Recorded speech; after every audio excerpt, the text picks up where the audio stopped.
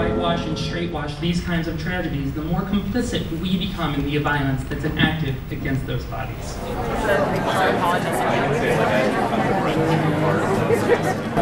I think this event really shows the solidarity with the community, um, whether you're gay, straight, bi, trans.